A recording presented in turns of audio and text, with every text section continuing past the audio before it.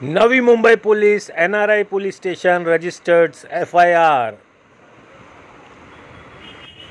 और NRI police station ने सुनी एक महिला की पुकार। जी हाँ नमस्ते आगे देखिए। जी हाँ मैं हूँ जनता का दोस्त और आपका होस्ट आशीष चौधरी और मैं खड़ा हुआ हूँ इस वक्त एनआरआई पुलिस स्टेशन में एक महिला की फरियाद जो लेके छत्रपति शिवाजी महाराज सेना और कॉन्शियस सिटीजन फोरम और उनके साथ में उनके वकीली सलाहकार, जी हाँ यहाँ पे पहुँचे और एक महिला की मॉलेस्टिंग की जो जो कंप्लेंट है वो आपके सामने रखने की हम कोशिश कर रहे हैं। अभी इसके बाद में आपको हम दिखाएँगे कि आखिर माजरा और हम यहाँ सब बने हुए हैं हर्षाली शेलार जी की कंप्लेंट पे। जी हाँ आइए सुनते हैं हर्षाली शेलार जी।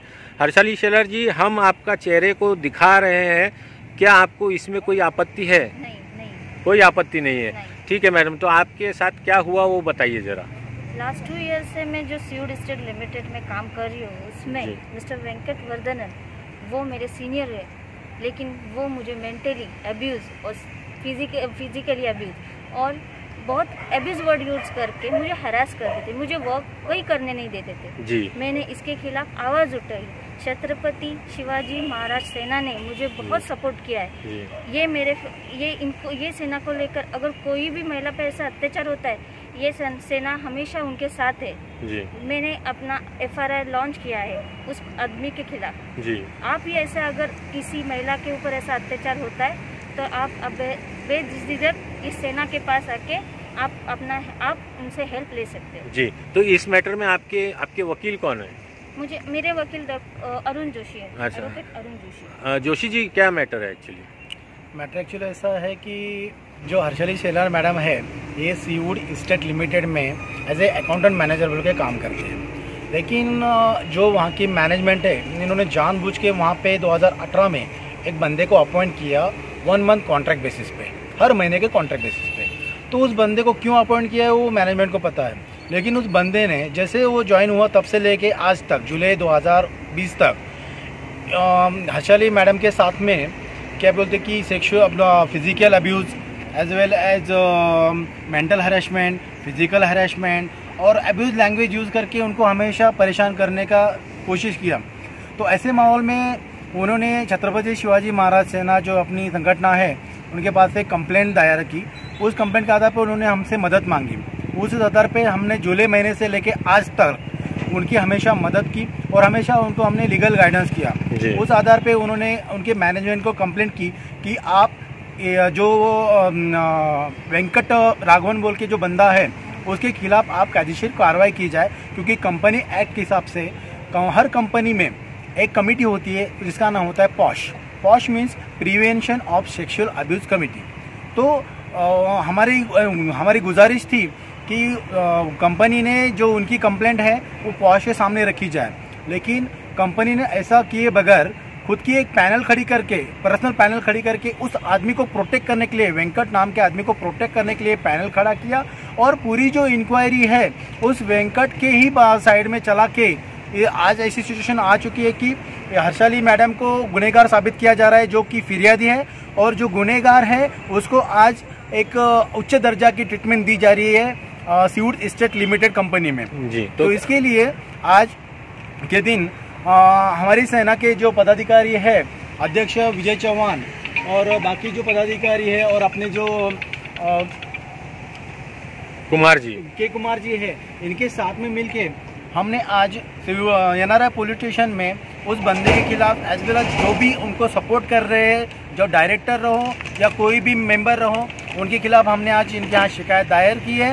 अभी इसके बाद में जो भी होगा वो कोर्ट के सामने होगा और कोर्ट डिसाइड करेगी कि जो जिनके खिलाफ हमने कंप्लेंट दायर की है कि उन्होंने गुनाह किया है या नहीं किया है। तो इसमें आपको क्या लगता है क्या एंटीसिपेटरी बेल हो सकती है? एक्चुअली जो सेक्शन उन्होंने लगाए हैं आज पुलिस स्टेशन ने एफआईआर में तीन और पाँच सौ नौ तो जो दो, दो सेक्शन है ये नॉन अवेलेबल सेक्शन है। एक्चुअली एक महिला पे अत्याचार हो रहा है तो उसको जामीन नहीं मिलना चाहिए ऐसा मुझे लगता है। लेकिन जो कोर्ट है ठीक है मैं आपके पास लौट लौट के आता हूँ। आप अध्यक्ष हैं छत्रपति शिवाजी महाराज सेना से। आपका क्या कहना है? आप किस दृष्टिकोन से देख रहे हैं इसको? जय शिवराय।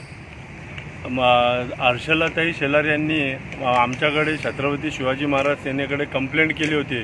की ती जिथे त्या जॉबला आहेत तिथे त्यांना जो त्या व्यंकटेश म्हणून जो ऑफिसर आहे तो त्यांना त्रास देतो येणार आहे कॉम्प्लेक्समधला आणि तिथे सगळे म्हणजे हायफाय सोसायटी आहे ती.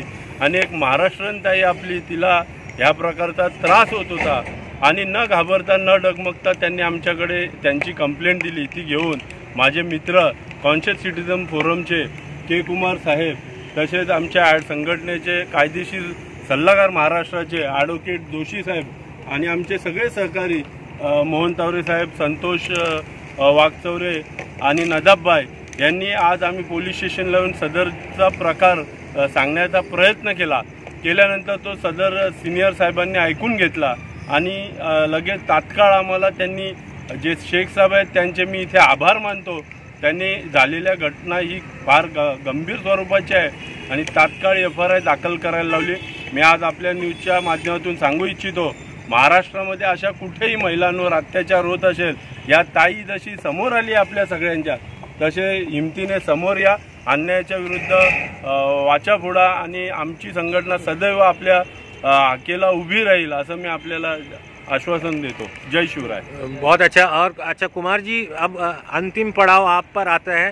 आपको क्या, आप किस तरह से इस केस को देख रहे हैं? सबसे पहले तो मैं आपको बताना चाहता हूँ, ये पूरे नवी मुंबईकर के लिए शर्म का विषय है कि हम स्मार्ट सिटी की बात करते हैं। और एनआरआई सोसाइटी, नवी मुंबई का सबसे प्रेस्टिजियस सोसाइटी है, जिसमें सारे वीआईपीज ब्यूरोक्रेट्स इंडस्ट्रीज़ रहते हैं, पढ़े लिखे लोग रहते हैं इंटेलेक्चुअल से बिलोंग करते हैं। वहाँ पे किसी वर्कर के साथ इस तरह का अब्यूज किया जा रहा है सेक्सुअल अब्यूज किया जा रहा है, और लोग मुँह बंद करके चुप हैं। तो हम किस मुँह से कहते हैं कि बेटी बचाओ, बेटी बढ़ाओ और हम कहते हैं कि हम एक स्मार्ट सिटी में रहने वाले नवी मुंबईकर हैं। हमें शर्म आती है ये कहते हुए। अगर हम इस तरह के घटना देखते हैं और इस तरह के घटने पे अपनी मुँह बंद करके रखते हैं तो सबसे पहले तो हम नवी मुंबईकर को इसके खिलाफ पूरा ज़ोर आवाज़ उठाना चाहिए कि इस तरह का नवी मुंबई में कम से कम ये दाग तो नहीं लगना चाहिए, अगर हम स्मार्ट सिटी बोलते हैं। दूसरी बात, ये बेचारी बहुत दिनों से लड़ रही हैं, अपने सोसाइटी में आवाज़ उठा रही हैं। उस सोसाइटी में इनकी आवाज़ नहीं सुनी गई। मजबूरी हम लोगों को पुलिस स्टेशन में आना पड़ा। आज पुलिस स्टेशन में आने के बाद भी हम लोगों को बड़ा बुरा एक्सपीरियंस हुआ। यहाँ पर एक एपीआई है संदेश महादेव कथावड़े जिस लोगों ने सुप्रीम कोर्ट का गाइडलाइंस है वुमेन कमीशन का गाइडलाइंस है कि अगर महिला को न्याय पाना है तो वो अपने अधिवक्ता को रख सकती है अपने गार्जियंस को रख सकती है किसी एनजीओ को अपने साथ लेके आ सकती है। जब हम उन लोगों को इन, इनके साथ किस तरह से व्यवहार करना है ये सवाल हमने उठाया तो उन्होंने अब्यूज करके हम लोगों को पुलिस स्टेशन से बाहर निकाला। बाद में हम लोगों को सीपी के यहाँ हमने फ़ोन किया। सीपी के यहाँ से इनका फ़ोन आया तब जाकर के शेख साहब जो सीनियर हैं, उन्होंने बहुत अच्छे तरीके से व्यवहार किया। ये उनके नज़र में भी ये बात नहीं गई थी कि उनके स्टाफ बाहर में किसी के साथ कैसा व्यवहार करते हैं। था- पुलिस स्टेशन में सिर्फ़ लुच्चे लफंगे ही नहीं आते हैं। ये ए ग्रेड सिटी है, यहाँ पे जो भी लोग भी आते हैं, वो लोग कहीं ना कहीं से किसी ना किसी तरह से प्रतिष्ठित लोग आते हैं। सबों के साथ सामान्य व्यवहार करना चाहिए ये भी पुलिस स्टेशन में सिखाया जाना चाहिए। और उनकी कोशिश यही थी कथौड़े की किसी तरह से इस औरत को गुमराह कर दिया जाए ताकि ये उनसे बाद में कांटेक्ट करें और उनका लेन देन का कार्यक्रम बने।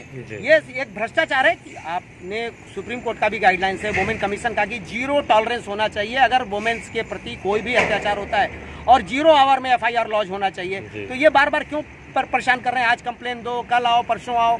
इस तरह का इनका एटीट्यूड था। वो अगर अगर शेख साहब नहीं करते सीनियर साहब और हम लोग सीपी साहब के यहाँ कंप्लेन नहीं करते तो आज एफआईआर नहीं होने वाला था। जी। इस वक्त मेरे ख्याल से आठ बज रहे होंगे करीब करीब एडवोकेट साहब आप कब तक समझते हैं कि गिरफ्तारी हो जानी चाहिए?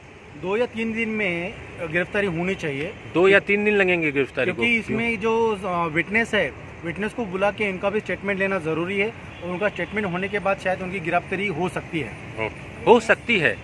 मतलब वो भी क्योंकि कोविड अभी जो कोविड का माहौल चल रहा है ना हम्म। तो कोविड के माहौल में अभी थोड़ा डिपार्टमेंट जो है हर एक डिपार्टमेंट अपने अपने प्रिकॉशंस लेने पे तुला हुआ है। आप भी जानते हो कि जेल से जो जैदी को छोड़ा जा रहा है ऐसे माहौल में अरेस्ट करना उनके लिए पॉसिबल है या नहीं है? ऐसे सुझाव में सर सर इसमें इसमें क्या कोविड का क्या लेना देना? कोविड से कोई लेना देना नहीं है। जिस तरह से ये शर्मनाक घटना है कुछ कुछ ऐसी चीज़ें हैं जिसमें कोविड का कोई लेना देना नहीं होना चाहिए मेरे हिसाब से। जैसे अभी रिया चक्रवर्ती को गिरफ़्तार किया गया और लोगों को गिरफ़्तार किया गया और आने वाले समय में लोगों को गिरफ़्तार कर रहे हैं तो मेरे हिसाब से कुछ ऐसी धाराएँ हैं जिससे रेप हुआ मर्डर हुआ इसमें कोविड का इनको प्रिवलेज नहीं मिलना चाहिए। और समाज में इस तरह के लोगों को तो कभी हमारे न्यायालय से विनती होगी कि इस तरह के लोगों को कोई प्रिवलेज नहीं देना चाहिए और इनको कभी भी कोई भी अनड्यू प्रिविलेज नहीं मिलना चाहिए, ना कोई छूट मिलनी चाहिए कानून में, ताकि इनको ऐसे लोगों को कड़ी से कड़ी सबक दिया जा सके। बहुत बहुत धन्यवाद तो गिरफ्तारी होनी चाहिए निश्चित। जी हाँ तुरंत गिरफ़्तार कीजिए।